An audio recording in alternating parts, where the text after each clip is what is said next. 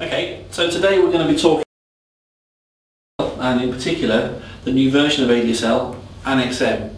Um, Annex M is, uh, is a new version of ADSL that comes out and essentially the way it works is it allows you to have more space um, uh, to be able to deliver services that are business critical. Um, ADSL is always divided into two parts. There is essentially a much bigger download speed than there is on an upload speed. So if I was to draw this out a cross section of an ADSL line, the green section is your download speed and the red section is used for sending data out to the provider. And in most cases when you're at home, you're dealing with uh, web traffic, you're dealing with looking at videos on YouTube, you're looking at um, all sorts of services. Predominantly, information is coming from outside into your home and therefore you need a much bigger green space for delivering, delivering downloading data.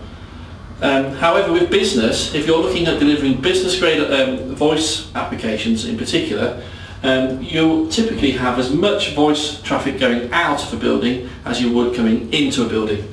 Therefore, Annex M takes this line here and moves it slightly more into the middle.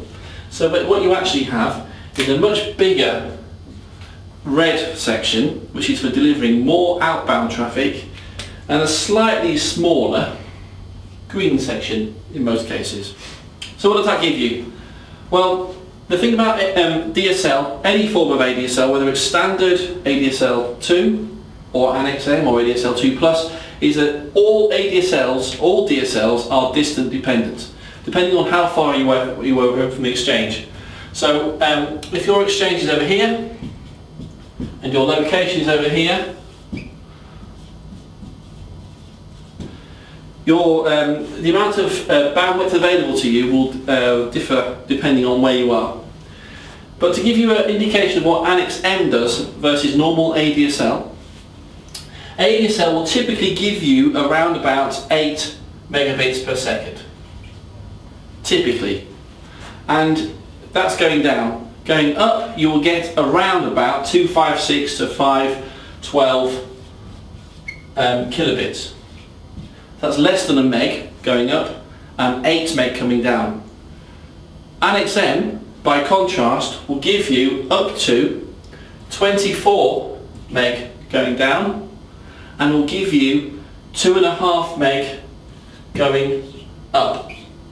So as you can see, the same piece of wire, the same telephone wire is going across and just by changing the type of DSL that goes across that telephone wire can give you vastly more uh, bandwidth um, which is designed specifically for carrying uh, much more business grade applications.